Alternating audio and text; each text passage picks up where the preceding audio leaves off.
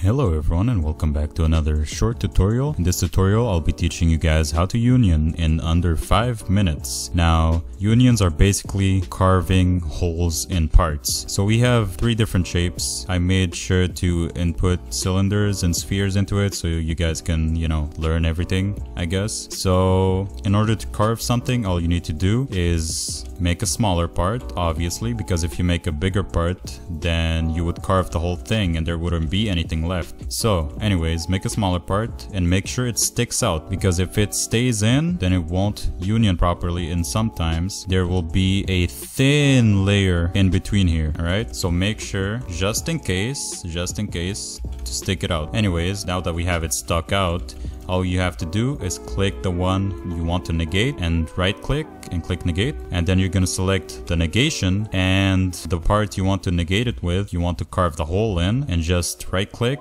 and click union and it should union perfectly. Now same thing with these shapes. We're gonna take this. We're gonna negate to make it a negative part as you can see in the explorer and then you're gonna select the parts you want to carve a hole in and you're gonna union it as as you can see it'll union it to the shape of the cylinder it's all different shapes you know this is a rectangle this is a cylinder and here I'm gonna negate a sphere into this block and it should make the exact same shape as the sphere. Now this will be it for the negation. Thank you guys for watching and I'll see you in the next tutorial. See ya.